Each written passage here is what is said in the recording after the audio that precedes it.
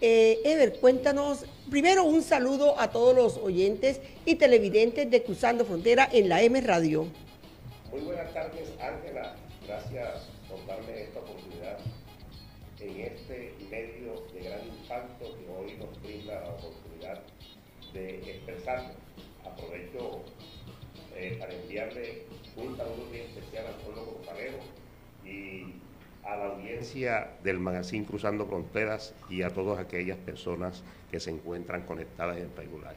Usted siempre ha sido un hombre inquieto, Vives. Siempre ha sido la persona que le coloca de pronto el dedo en la llaga a los temas álgidos. Usted siempre se ha atrevido a tocar esos temas en público porque usted fue concejal de Corozal. Y lógicamente con esa gran experiencia, ¿cómo vendería usted su imagen a una posible aspiración en el municipio de Corozal? Bueno, Ángela, mira, yo tengo un concepto sobre eso y para mí no es difícil vender eh, la imagen de Ever Monterrosa en Corozal. No se me hace difícil puesto que yo soy una persona que siempre he permanecido en Corozal, en el día a día, eh, con, cruzándome eh, las manos, el abrazo con las personas del pueblo corozalero me conocen las personas, el vendedor ambulante, me conoce el tendero, me conoce el carretillero, me conoce el vendedor de lotería. O sea, todo, yo vivo en campaña durante todo el tiempo, Ángela. Mira, la campaña se acaba, se cierra, un domingo, la elección, estas últimas veces que he aspirado al Consejo, y al día siguiente es como si yo estuviera en campaña, me encuentro con la gente y el saludo y las cosas es como si ellos y me abrazan y, dialogamos de los temas políticos, de cómo nos, nos, ha ido últimamente en las campañas y esas cosas, y de manera natural. Yo no creo que se me haga difícil. Yo le decía a unos amigos que es más, más difícil aquellas personas que han perdido la conectividad con el pueblo. Aquí hay algunos candidatos que se fueron hace tiempo de Corozal, y que otra vez nuevamente aparecen después de 20 años, esas personas se les hace difícil. Y que hacen ocho meses ya están en campaña y parece que no estuvieran porque la gente ya no le copia ese estilo de política en nuestro medio. Mira, date cuenta que también hay algunos aspirantes que cada cuatro años aspiran a los cargos públicos y se desaparecen y nuevamente aparecen eh, cuando hay elecciones ya la gente tampoco le está copiando eso. A esa gente se le hace difícil. También se le puede hacer difícil a aquellos gobernantes que han dejado problemas en las administraciones, como el caso de hay un, candidato que ya fue alcalde también y que eh, tiene hoy problemas con el tema de unas inversiones que están inconclusas en el municipio de Corozal y que redondean más de los 20 mil millones de pesos.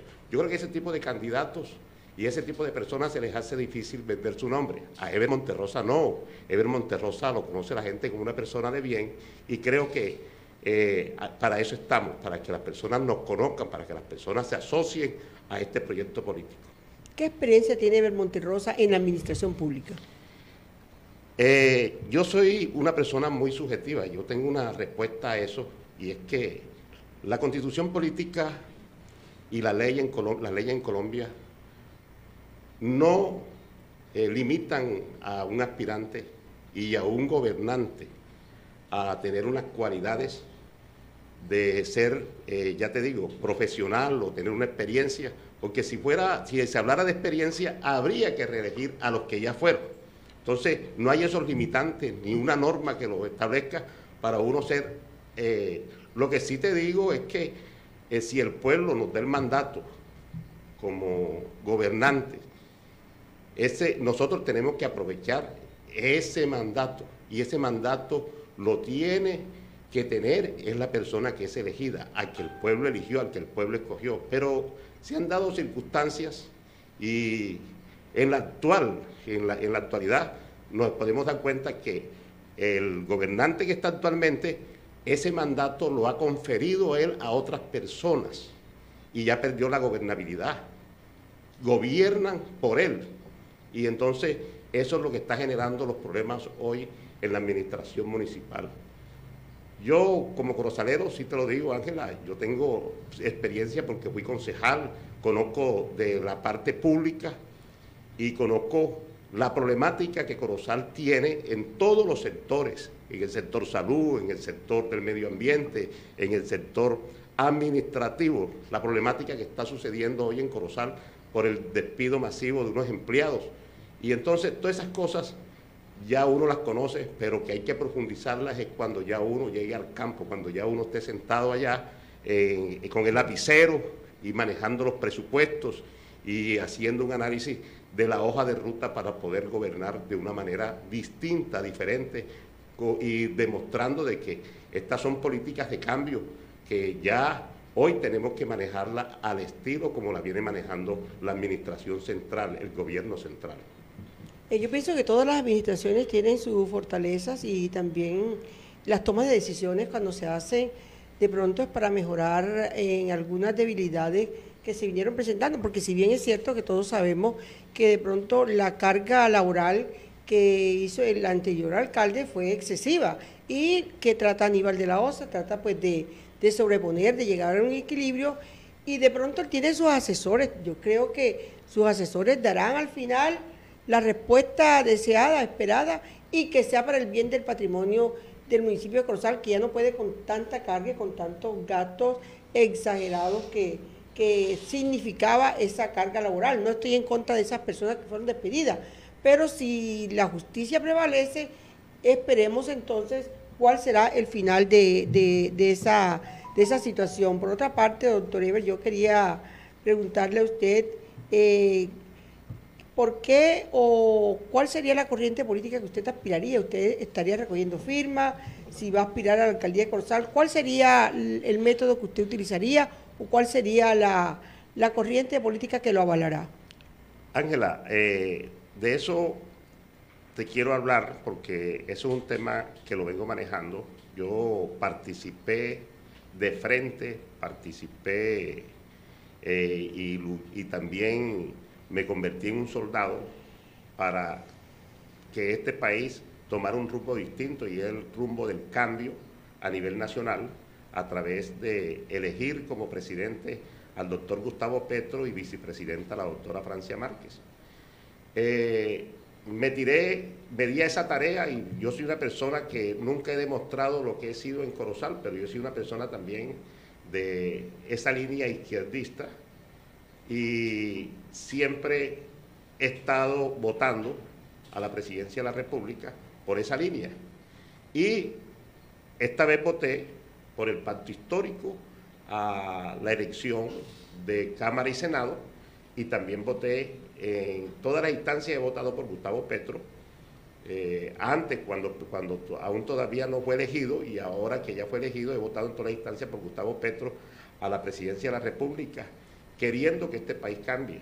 Entonces, mirando desde ese punto de vista, yo hoy estoy, eh, me he vinculado me he afiliado como un militante del Polo Democrático Alternativo a ese partido. ¿Por qué? Porque ese es un partido que tiene una línea, yo digo que dentro de la línea mejor conformada como partido está la del Polo Democrático con 17 eh, curules eh, parlamentarios, con 17 parlamentarios en el Senado y Cámara, y yo a eso le vengo apuntando, porque Corozal necesita del apoyo de esos senadores, de esos representantes, eh, para poder traer a Corozal eh, y brindarle a Corozal eh, una mejor, un mejor desarrollo.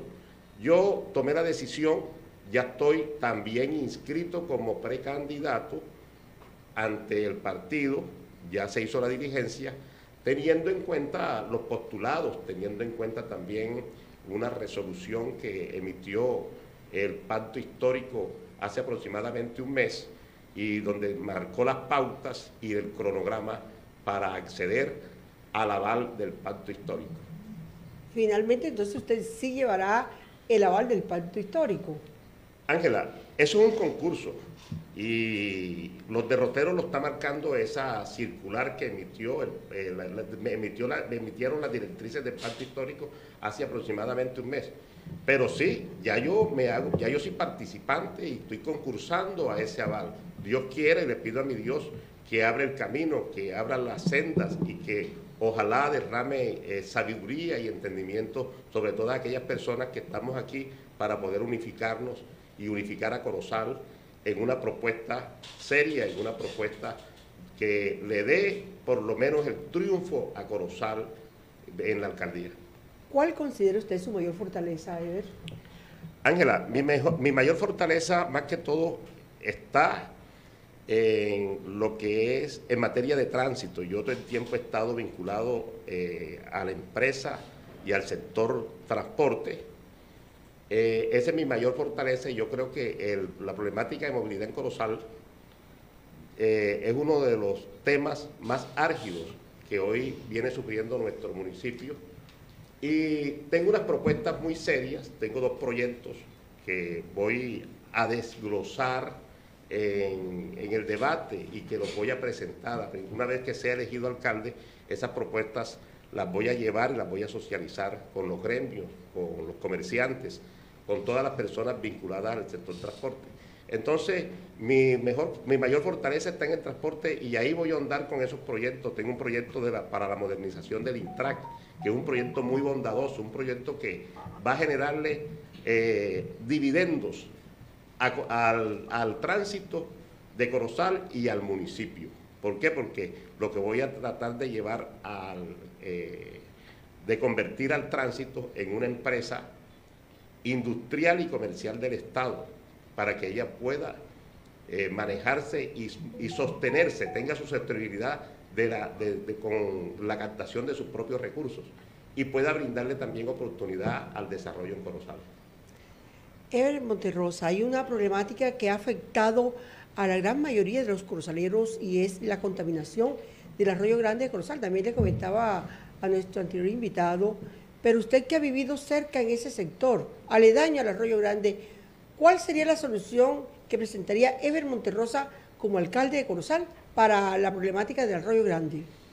Ángela, ese tema del arroyo grande, en estos temas cuando se avecinan ya eh, las campañas políticas, no quisiera a veces uno como político tocarlo porque esa ha sido la bandera y el caballo de batalla de muchos políticos que no han cumplido con lo que le han prometido al pueblo corozalero. Pero sí hay soluciones. Yo por ahí escucho que hay algunos proyectos que ya están adelantándose a través de eh, gobierno central, pero a la mano no los he tenido, no puedo hablarte directamente de los proyectos, pero yo si hay alguna persona de Corozal preocupada por eso, se llama Ever Monterrosa, porque yo todo el tiempo he dado la lucha por la, problemática del medio ambiente en Corozal, y no solamente a eso, tú sabes que también en Corozal hoy hay una problemática con la entrada de, de los carros y de las basuras que vienen de otros departamentos de aquí de la costa. Entonces, pero sí, Ever Monterrosa preocupado con la situación de Arroyo Grande. Yo he dicho que esto es una problemática que no está solamente enmarcada por el municipio de Corozal. El municipio de Corozal es víctima hoy de esa problemática, pero esta situación hay que elevarla al gobierno nacional y tratar de gestionar un proyecto inclusive no nacional, internacional para la recuperación del Arroyo Grande, porque estos recursos no son recursos que eh, se pueden eh, captar desde el mismo municipio. Estos recursos tienen y eh, son unos grandes aportes que tiene que hacer el gobierno eh, central para poder solucionar ese problema. Y como alcalde eh, me reuniré también con los otros alcaldes de los pueblos vecinos y ribereños al Arroyo Grande para buscarle solución a esa problemática que ya tiene más de 50 años de venir agobiando a los corozaleros. ¿Cuál sería el eslogan que usted llevaría como bandera en esta campaña que se acerca?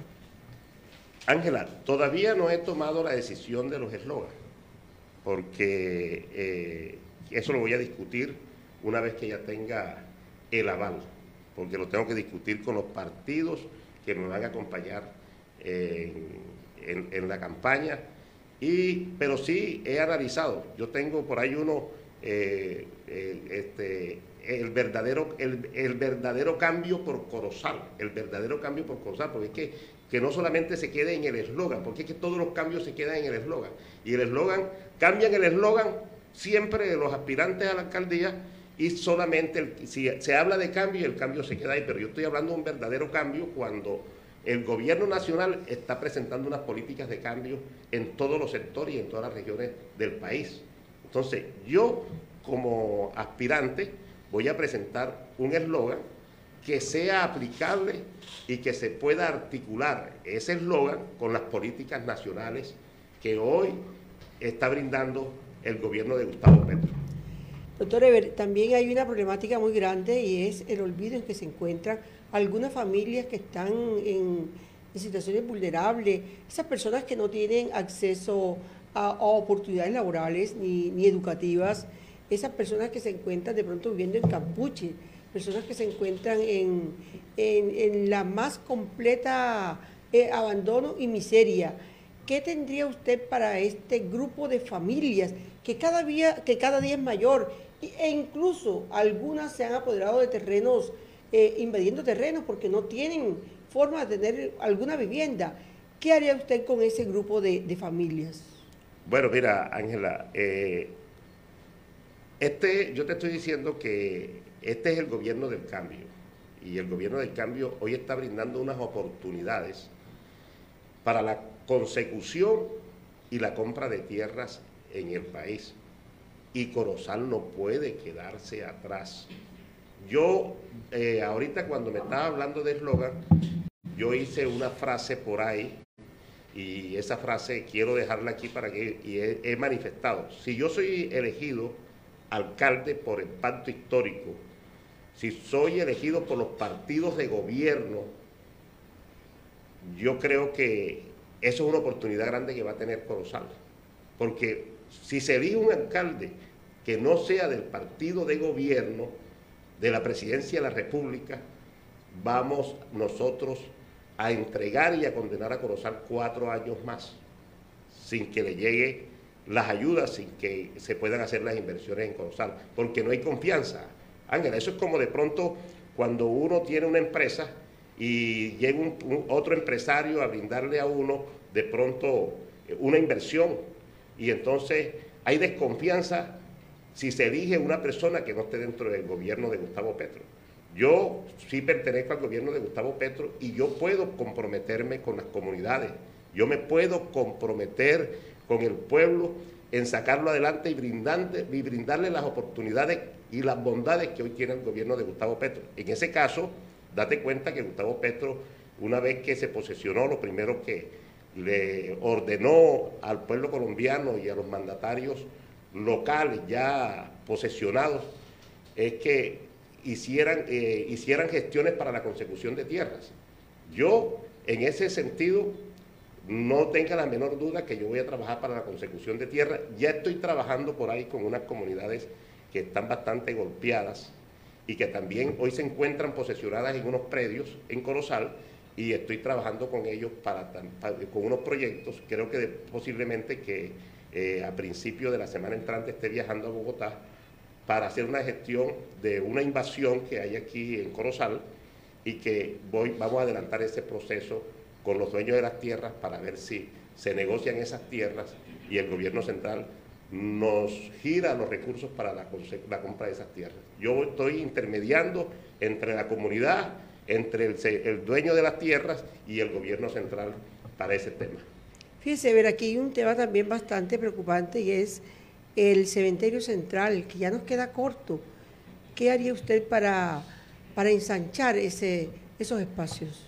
Eh, Ángela, hay tantas cosas en Colosal eh, que, se, que tenemos que hacer por Corozal, que tenemos que hacer por nuestro municipio. Y en Corozal lo que no ha existido es la voluntad política para hacer las cosas. No existe el carácter. Las personas aquellas que se les ha dado ese poder y esa autoridad para hacer las cosas, porque un, alcalde es la primera autoridad eh, policiva del municipio, es la primera autoridad del municipio y como alcalde tiene que tomar decisiones aceptadas dentro del municipio. Yo, ¿qué haría? Tratar de conseguir eh, el perímetro urbano de Corozal o de pronto en el perímetro no urbano, sino rural, porque ya Corozal se está quedando muy pequeño, donde uno pueda conseguir terrenos para un cementerio es conseguir y, gestionar con el gobierno nacional unos recursos para la compra de un lote para ese cementerio. Esa sería una de, de, mis propuestas y te aseguro que eh, en mi mandato haré todas esas gestiones para que se cumpla esto que te estoy diciendo ahora. Algunos candidatos aspirantes a diferentes corporaciones públicas centran su atención o su, su trabajo en la cabecera pero, ¿qué tendría Ever Monterrosa para eso? ¿Cómo conquistaría ese voto primario de la zona rural? Eh, interesante pregunta, Ángela. Mira, eh, la zona rural a mí me viene preocupando desde hace 20 años, cuando se entregó por concesión a la empresa Aguas de la Sabana el, proyecto de operación con inversión del manejo del acueducto y, el alcantarillado del municipio de Corozal. Y me preocupa porque esa comunidad hace 20 años que está por fuera de la operatividad y ellos sobreviven del líquido y no, sobreviven del líquido precariamente, pero no tienen alcantarillado. Ellos gestiones ya, Ángel, aunque no lo creas, ante el gobierno nacional para que se, se, incluyan unos recursos ante el plan de desarrollo para que se construya el alcantarillado rural por sectores, por sectores. Te quiero decir, tengo conocimiento que esta administración adelantó un proyecto para adelantar el alcantarillado del corregimiento de Don Alonso, situación que cuando yo fui y propuse para que se haga el alcantarillado regional y por sectores en los corregimientos, eh, se ha frenado ese proceso hasta tanto se puedan tomar unas decisiones porque van a ser un proyecto macro, porque no se pueden hacer inversiones en un corregimiento y en otro corregimiento. Parciales, parciales porque eso, la infraestructura de eso y, la, articulación de un corregimiento con otro en ese servicio va a requerir de que se haga una infraestructura global. Ever Monterrosa, ¿cómo conquistarías entonces tú el voto a esas personas que aún no se han decidido? Bueno, mira, eh, yo te comento, estamos comenzando a hacer un trabajo, Ángela, y Hoy me siento contento, alegre. Optimista. optimista, muy optimista. Se digo que estoy bastante optimista porque el día domingo fui invitado por un grupo de amigos a una reunión y ellos mismos la convocaron y me dijeron, señor Ever, vamos nosotros queremos saber y conocer de sus propuestas porque nosotros queremos socializar su nombre, queremos verlo en el ruedo. Y me dicen ellos que convocaron la reunión y para 40 personas Imagínate, Ángela, que asistieron aproximadamente, diría yo que un poquito más de 120 personas a la reunión. La fotografía, los videos lo muestran. ¿Oíste? Entonces hay un entusiasmo de, la, de, las comunidades. Las comunidades están exigiendo cambio en Colosal. Yo creo que llegó, estamos en un momento en que la clase dirigente política tradicional está divorciada con el pueblo hoy en día. Sí, ahí observamos estas imágenes que usted nos acaba de, pasar, eh, una nutrida reunión que usted ha tenido con, estos son en los sectores de, Este es el sector de la zona sur de Corozal, Los Cerezos, eh, San Carlos. ¿No hay, eh, forma de mirar la foto, Fabián? San Carlos, Los Cerezos, está Barrio Navidad, Barrio 11 de Noviembre, Ahí se congregaron eh, varios líderes, porque es una reunión de líderes. Se congregaron varios líderes de esos sectores y de otros sectores. Pero sí te digo, fue muy nutrida la reunión, una reunión, la primera, yo digo que esto es un preludio de lo que va a pasar en Corozal. Yo siempre le he manifestado a los amigos de los sectores políticos alternativos y progresistas que si nos ponemos de acuerdo con un candidato que tenga carisma, con un candidato, nosotros podemos hablar de ese triunfo de esa alcaldía en las elecciones del 27 de octubre.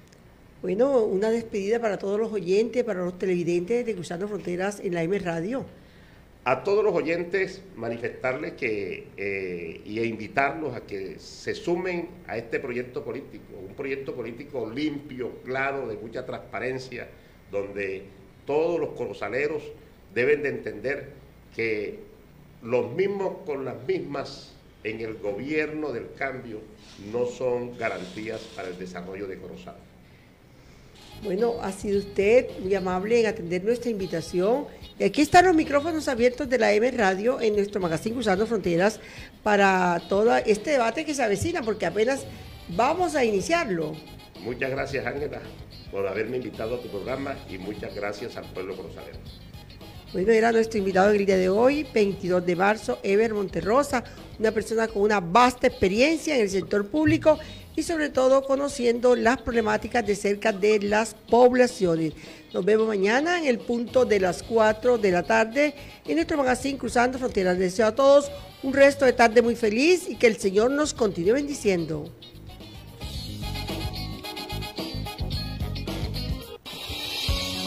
Dale un nuevo estilo a tus espacios favoritos con Ferretería Caribe JR. Todo lo necesario en materiales con calidad y precios económicos. Además, puedes obtener tus materiales, muebles, electrodomésticos y enseres a través de tu cupo aprobado Brilla de Surtigas o con tu crédito Construya. Ferretería Caribe JR. Te esperamos en la calle 40, número 2457, Troncal de Occidente, Corozal Sucre, Diagonal A Brasilia o contáctanos a través de nuestras redes sociales como arroba ferretería caribe JR y en nuestro número fijo 605-284-4572. WhatsApp 320-567-4758. Te esperamos.